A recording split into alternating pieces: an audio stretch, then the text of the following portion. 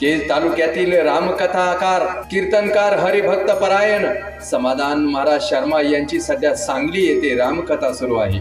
त्यांना पुण्यातील वाघोली परिसरातील श्रेयस मंगल कार्यालयात सुरू असलेल्या कीर्तन महोत्सवात ही कीर्तन सेवा सादर करण्याचा आग्रह भाविकांनी केला होता.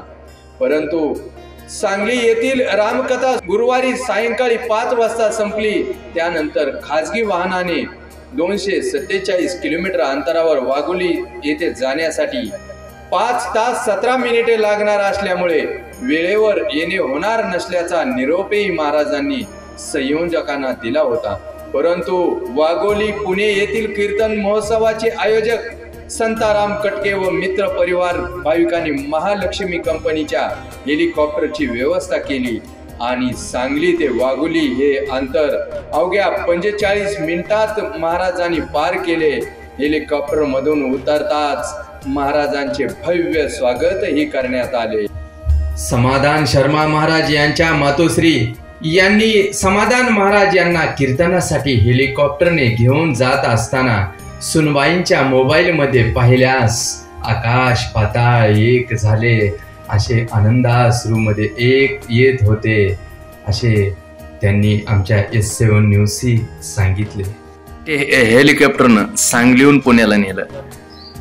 काय वाटलं बरं? आपल्या आनंद वाटला वाटतं तो पायाने चढत होता ते आता उड्या मारीत चालायला लागला असं वाटलं होतं त्यावेळेस असं? मला तर इतकं त्याला ते बघितलं की रडू यायला लागलं. ते आनंद अश्रू काय म्हणते ते तसले व्हायला लागले बाबा. आणि पुन्हा अजून त्याच्यात बसून म्हणला मी म्हणा आमच्या आईला लय आवडत. मला तर ऐकू काय नाही. चांगले. बसल्याच्या नंतर तुम्ही टीव्हीवर काय बघितलं का त्यात? हा. ते मोबाईल मध्ये दाखवतात ना भाभी. मग मोबाईल मध्ये बघितल्याच्या नंतर काय वाटलं? आता काय सांगू तुला? आकाश पाताळ एक झालं माझं. पण तू अश्रू यायला डोळ्यातून. तपशा दाखवायला पण रडू यायला डोळ्यातून. बाई रडू नका तुम्ही आधी बघा. अगं म्हणलं आनंद अश्रू येतात ते. आता गुरुजी काय म्हणते तर आता महाराष्ट्र झालं. आता परदेशात जाईल.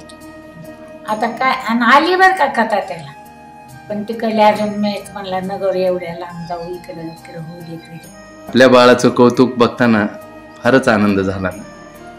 विचारू आणि एका भाऊ दोघं भाऊ एकाच राहतात ना. ते लय महत्त्व आहे माझं. ते लय महत्त्व आहे आता. मला अशा दिवसाला घरात तुम्ही काही करा पण बाहेर येते आणि घरात गेलं तर दिन अजून एका ताटात जेवण तुला मी शेजावर बसले खोटं बोलत नाही.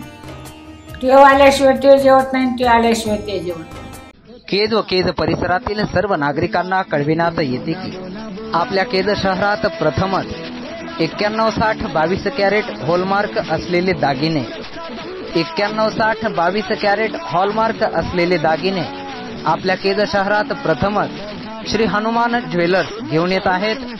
एक्क्याण्णव साठ बावीस कॅरेट हॉलमार्क असलेले दागिने. भारत सरकार मान्यता प्राप्त दागिने आपल्या केज शहरात. एक्क्याण्णव साठ बावीस कॅरेट हॉलमार्क असलेले दागिने. श्री हनुमान ज्वेलर्स सराफ लाईन जवळ केज.